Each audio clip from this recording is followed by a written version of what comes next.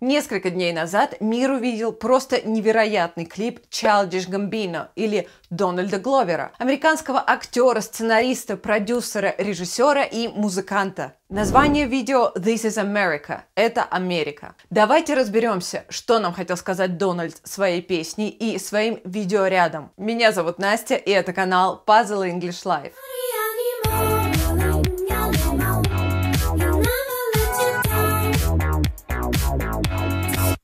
Песня начинается с хорового пения. Это напоминает госпел или песни чернокожих рабов. И это первая отсылка к рабскому прошлому. Дальше Гамбина начинает танцевать, строя гримасы, и в самом конце встает в неестественную позу для того, чтобы сделать выстрел. Все это аллюзия на знаменитую карикатуру на Джима Кроу. А кто же такой этот Джим Кроу? Впервые имя Кроу появилось в песенке «Прыгай, Джим Кроу». Jump Jim Crow, спетой в 1828 году Томасом Райсом, эмигрантом из Англии, и исполнял он ее с вымазанным жженной пробкой лицом.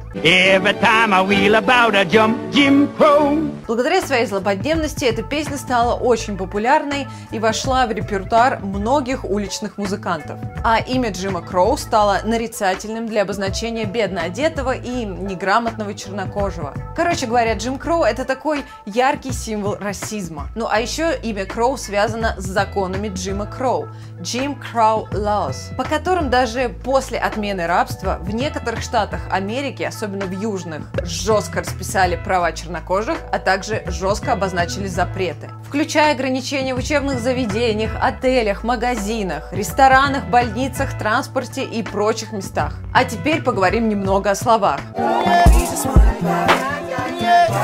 We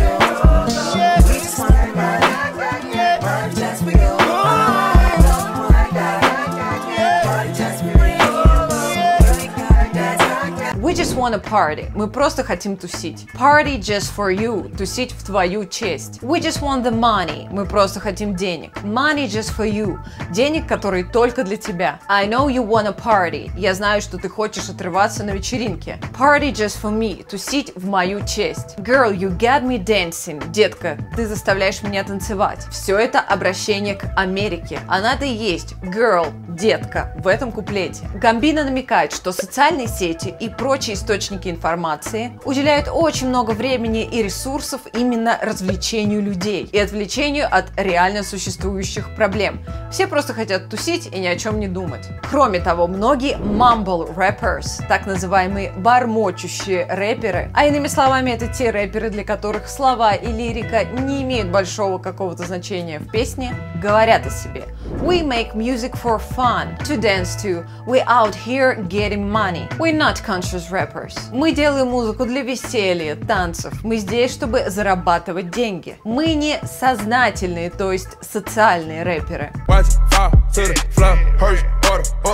В общем-то, наверное, всем известно, что в США есть большая проблема с доступностью оружия. Ну, это просто сродни вирусу. И сцена с выстрелом в голову как бы нам об этом намекает. This is America. А еще это намек на жесткие и часто несправедливые действия по отношению к чернокожим. Когда полицейские ведут себя слишком жестко даже из-за каких-то мелочей и часто остаются безнаказанными. И вы заметили, как бережно на красном кусочке ткани уносит пистолет какой-то школьник. Да, оружие стало важнее, чем человеческая жизнь. Теперь давайте вернемся к словам. This is America. Don't got you slipping now. Look how I'm living now. Police be tripping now. This is America. Don't catch you sleeping up. Вообще, sleep up – это оступаться. Это намек на то, что в случае даже какой-то легкой ошибки, когда человек сбивается с пути, его в Америке вряд ли поддержат. Если ты оступился и падаешь, значит падай. Значит ты просто слабый. Look at how I'm living now. Police be tripping now. Посмотри, как я живу сейчас. А tripping – это сленговый глагол. Он значит то, что человек слишком резко реагирует на что-то абсолютно незначительное. Например, полицейский слишком жестко реагирует на маленькое некое нарушение. То есть эту строчку мы можем перевести как «полиция глючит», «полиция сходит с ума», «полиция гонит». Кстати, в 2016 году, по некоторым данным, чернокожих мужчин в возрасте от 15 до 34 лет органы правопорядка убивали в 9 раз чаще, чем белых.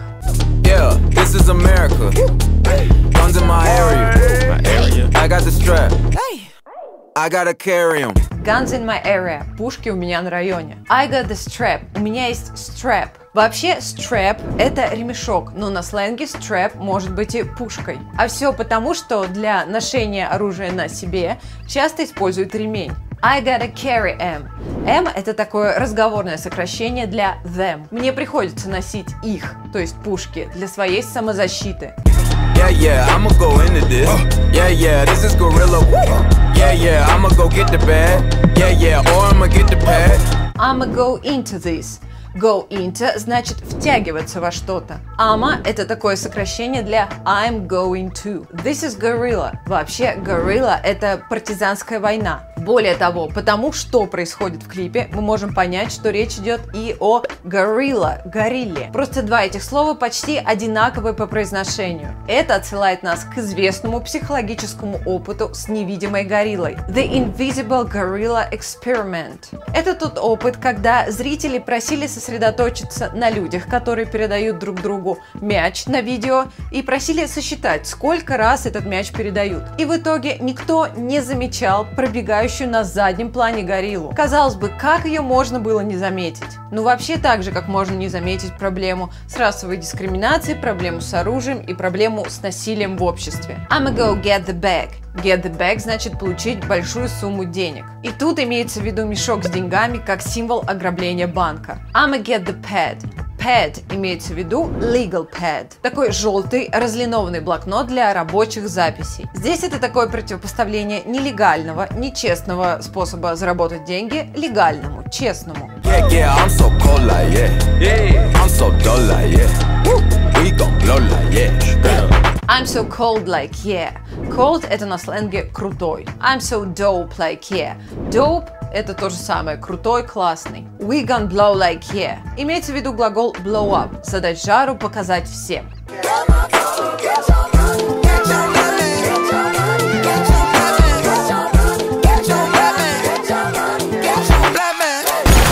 Grandma told me, get your money, black man. Бабушка говорила мне, достань деньги, черный парень. Опять же, речь идет о том, чтобы заработать много денег и демонстрировать свои богатства. Как вы знаете, многие рэперы этим занимаются. Сцена с расстрелом хора основана на стрельбе в Чарльстоне в 2015 году, когда белый мужчина расстрелял пастора и прихожан афроамериканской церкви. This is Sally.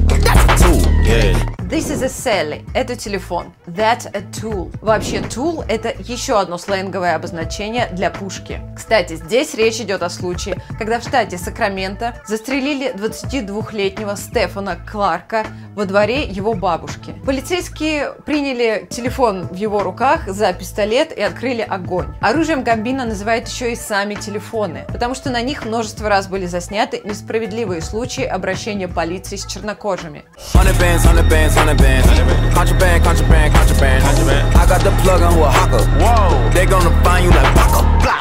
Honey bands, honey bands, honey bands. Вообще, honey это hundred, то есть сотня на сленге. А вот band это тысяча. Получается сотни тысяч долларов. Опять речь о деньгах, деньгах, о большом количестве денег. Contraband – это контрабанда. И, конечно же, имеется в виду наркотики. I get the plug in Oaxaca. Plug – так называют человека, у которого можно купить травку. Оахака – это штат Мексики, печально известный своими наркокартелями. They gonna find you that blocker. Вообще, блока – это звук, которым имитируют стрельбу. Из этого мы делаем вывод, что речь идет об оружии, что его также можно достать.